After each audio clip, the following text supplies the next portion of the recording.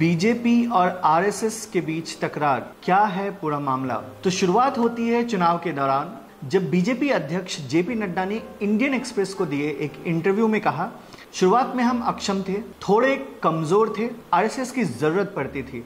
आज हम बढ़ गए हैं, सक्षम हैं तो बीजेपी अपने आप को चलाती है। ये बयान जेपी नड्डा ने आरएसएस के संदर्भ में दिया था। जब बहुत सारे लोग उस वक्त पे ऐसी बातें कर रहे थे कि आरएसएस कहीं ज़मीन पे देखने को नहीं मिल रही थी। आरएसएस के कार्यकर्ता ज़मीन पे देखने को नहीं मिल रहे थे। तो इंडियन एक्सप्रेस के एक इंटरव्यू में जेपी नड्डा ने ऐसा कहा। इसके बाद हुआ क्या?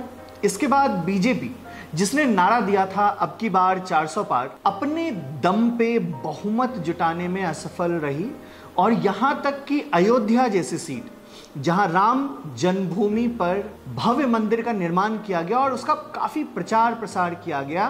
बीजेपी वहाँ भी हार जाती है। भाजपा को कुल सीटें जितनी मिलती हैं, वो सीटें बहुमत के आंकड़े से काफ़ी कम थी। भाजपा को कुल 240 सीटें मिलती हैं, जो कि बहुमत के आंकड़े से काफ़ी कम थी। और फिर शुरू होता है आरएसएस की ओर से टीका टिप्पणी, बयानबाजी। आरएसएस प्रमुख मोहन भागवत ने बयान दिया एक इवेंट के दौरान कि जो सच्चे सेवक हैं, जिन्हें वास्तविक सेवक कहा जा सकता है, वो मर्यादा से चलता है। उस मर्यादा का पालन करके जो चलता है, वो कर्म करता है, लेकिन कर्मों में लिपटा नहीं होता। उसमें अहंकार नहीं आता है कि मैंने किया है। वही सेवक कहने का असली अधिकारी होता है। ये सारी बातें मोहन भागवत कह रहे हैं। साथ में जब वो इवेंट में बोल रहे थे तो उन्होंने कई बार अलग अलग टॉपिक पे बात करी, जिसको जो टिप्पणीकार हैं वो डायरेक्ट कटाक्ष मान रहे थे बीजेपी के ऊपर। यहाँ तक कि उन्होंने मणिपुर की भी बात करी। अब एक साल से मणिपुर शांति की राह देख रहा है। उसके पहले दस साल शांत रहा। पुराना गन कल्चर समाप्त तो हो गया ऐसा लगा। और अचानक जो कलह वहाँ पर उपज गया या उपजाया गया उसकी आग में अभी तक जल रहा है त्राही त्राही कर रहा है, कौन उस पर ध्यान देगा? प्राथमिकता देके उसका विचार करना ये कर्तव्य है।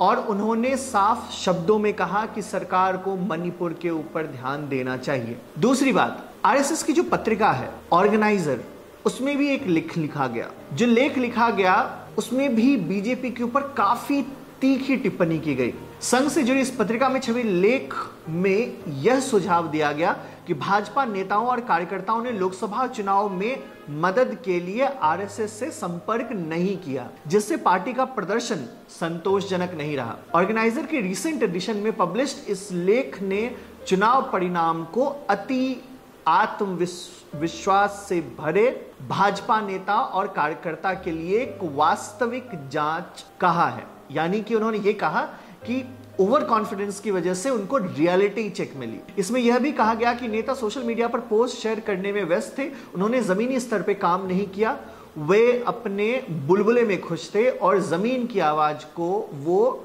सुन नहीं रहे थे। उसके बाद क्या हुआ? इतना बवाल क्यों मचा हुआ है? जो आरएसएस के एक वरिष्ठ नेता हैं, इंद्रेश कुमार उन्होंने बीजेपी को अहंकारी और विपक्ष इंडिया ब्लॉक को राम विरोधी करार दिया। अभी रिसेंटली उन्होंने ये बयान दिया है। इंद्रेश ने कहा कि राम सबके साथ न्याय करते हैं। 2024 के लोकसभा चुनाव को ही देख लीजिए। जिन्होंने राम की भक्ति करी, लेकिन उनमें धीरे धीरे अहंकार आ गया। उस पार्टी को सबसे बड़ी पार्टी घोषित कर दिया गया। अभी इस 2024 में भी राम राज्य का विधान देखिए, लोकतंत्र के परम में कैसा है। जिन्होंने राम की भक्ति की, पर धीरे धीरे अहंकार आ गया। उस पार्टी को सबसे बड़ी पार्टी घोषित कर दिया।